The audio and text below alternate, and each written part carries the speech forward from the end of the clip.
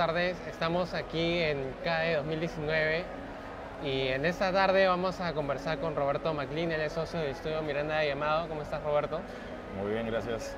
Eh, el principal tema que queremos abordar es el impacto que va a tener eh, la ley de control previo de fusiones y adquisiciones que ha sido recientemente promulgada por el gobierno. Igual va a ser un poco su impacto en el mercado de M&A. Roberto, ¿cuál crees tú que va a ser el, impacto inmediato que vamos a observar en el mercado?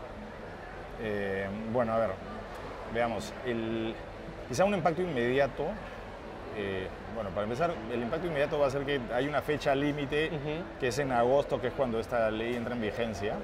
Eh, yo creo que durante el año las transacciones que se perfilen para cerrar durante el año van a tener que o cerrar antes de esa fecha o cerrar después, pero con la incertidumbre que si tú tienes un acuerdo firmado pero que no ha cerrado, a lo mejor ese hecho ya te va a traer, eh, va a hacer que la ley se te aplique y que, que tengas que, pasar por el control antes de cerrar. ¿No? Eh, entonces, si uno firma un contrato de acuerdo de compraventa en enero o en febrero, más vale que cierre antes de enero, de, perdón, de agosto, para poder cerrar sin que esta norma esté aplicable. O sea, por ejemplo, si yo firmo mi contrato después del 20 de agosto, inevitablemente eso va a pasar por el aro del Indecopi. Eh, no, si lo firmas después de agosto y caes en los supuestos, sí. Claro. Para mí la curiosidad es qué pasa con los contratos que se firman antes de agosto, pero cierran después de agosto. Eh, yo pensaría que esos, eh, en primera instancia, ya, ya van a, se les va a aplicar la ley. La otra pregunta es si, no sé cómo va a reaccionar el Indecopi en este caso, que va a ser el supervisor, regulador, como haya que llamarlo. En ese caso eso tendría que estar más precisado en el reglamento, imagino. Sí, quizá porque si uno hace una, operación que no pasaría por el aro de Indecopi después de agosto, eh, habría que apurar en cerrar, apurarse para cerrarla antes de, ¿no? Eh, y ahí, ahí yo creo que ahí va a haber un juego de, de, apuestas. Depende de qué transacciones se presentan en la primera mitad del próximo año.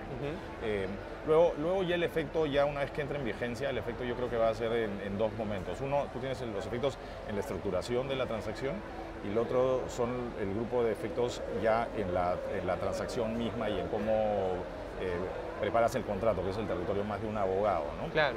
En la estructuración que es un territorio que está dominado más por, o manejado, controlado más por los bancos de inversión y los abogados somos un apoyo, creo que ciertamente va a impactar en la búsqueda de compradores. para un vendedor que contrate un asesor financiero y ese asesor financiero que vaya a buscar compradores para su negocio en venta, eh, eh, antes los primeros candidatos para un asesor financiero normalmente son los competidores.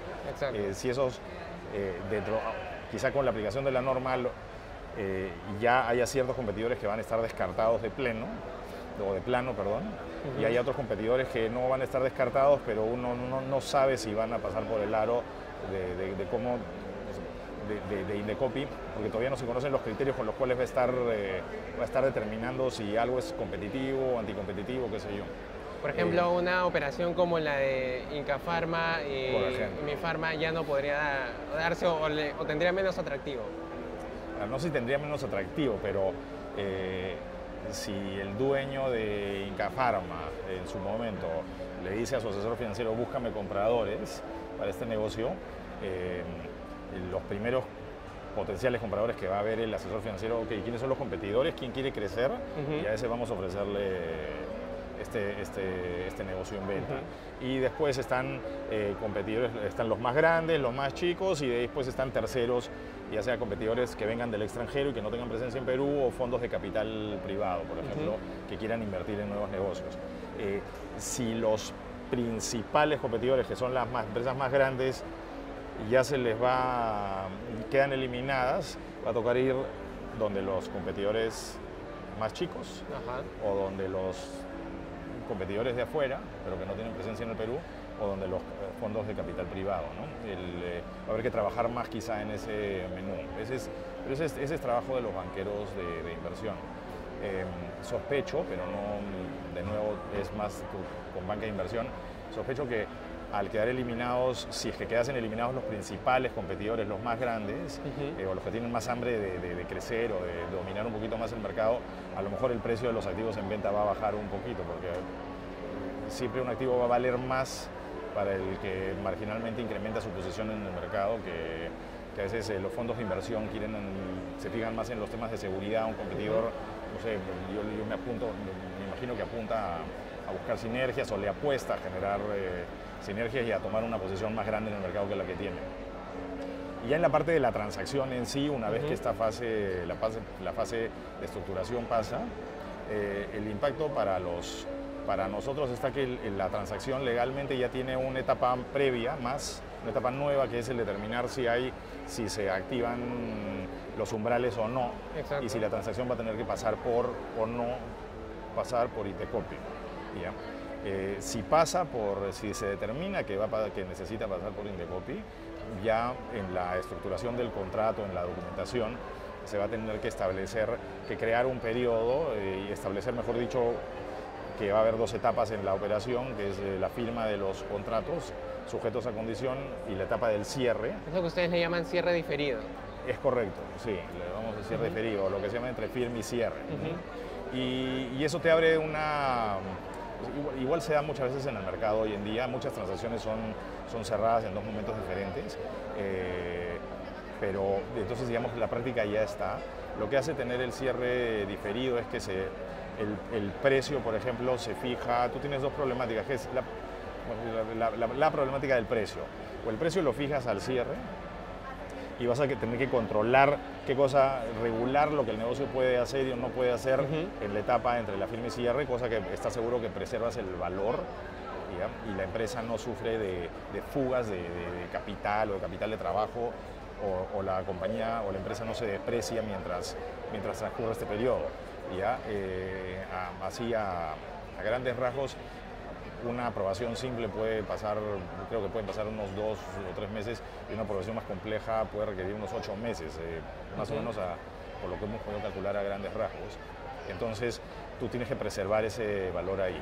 Eh, la otra es que a lo mejor si se complica bastante va a haber que crear cláusulas de, negociación, de renegociación del, precio o a lo mejor establecer cláusulas de un recálculo del precio al cierre si es que se anticipa que puede pasar mucho tiempo. Entonces, esos, son los, eh, esos son los retos de firmar y cerrar en momentos separados. Ahora, eh, ya para ir cerrando, eh, lo que yo he podido escuchar es que de algunos abogados es que vamos a ver de repente una etapa de hasta agosto de más operaciones que se van a cerrar porque van a querer llegar para no pasar por el área del Indecopi. ¿Tú lo ves así? Eh, a ver, para que eso suceda, eh, los potenciales vendedores tendrían que ya estar o sea, publicada la norma que ha sido ahorita, los potenciales vendedores tendrían que estar levantando en este momento de los, los, teléfonos y llamar a un asesor financiero y decirle quiero vender para empezar a amar la transacción. Las operaciones, eh, salvo que hagas un remate, eh, toman un tiempo. Tienes que organizar a tu empresa, armar la, eh, venta, contratar un banquero de inversión, eh, armar el documento de, venta, ir a buscar potenciales compradores, el due diligence y la, y la venta. si tienes claro que van a pasar por ese proceso y no quieres, entonces a lo mejor vender una venta bilateral es una mejor opción. Quizá eh, en pocas palabras, creo que para poder hacer eso o hacer una, una, carrera de aquí a agosto, eh, los vendedores que quieran vender en un concurso van a tener que realmente ponerse las pilas ahorita. ¿ya? O eh, identificar y hacer una venta, en una negociación bilateral, eso sí ocurre más rápido y para eso hay un poquito más de tiempo. ¿Crees que va a ser más fácil cerrar de repente aquellas operaciones que son eh, menores en términos de monto que aquellas que son grandes y que pueden demorar de repente de aquí a un año? Lo que demora una operación no es, no es eh, necesariamente el tamaño de la empresa en, venta. Lo que demora en una operación es uno si el activo está listo o no está listo.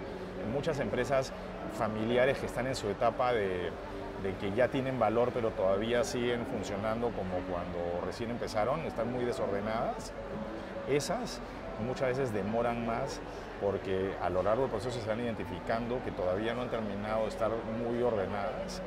Eh, y si el comprador, por ejemplo, es una empresa multinacional o una empresa internacional o un fondo de private equity, esa compra va a demorar porque le va a pedir que ordene el activo, que ordene su casa, al vendedor que ordene su casa antes de cerrar. Eh, puedes tener una empresa multimillonaria y que funciona como un reloj. Eh, esas operaciones, parece mentira, pero esas operaciones pueden ser bastante más fáciles de negociar y de cerrar que, en ventas más chicas, donde la empresa todavía está con, con rezagos de sus desórdenes antiguos. Eh, y, entonces si una empresa no está en un sector regulado, que esas siempre tienen sus complicaciones, eh, pero está bien ordenada, esa venta es fácil. Claro. De acuerdo. Roberto, muchas gracias. Ha sido Roberto McLean, socio del estudio Miranda, Miranda Llamado, que ha conversado con nosotros sobre el impacto de la ley de control de fusiones y adquisiciones aquí en CADE 2019. gracias.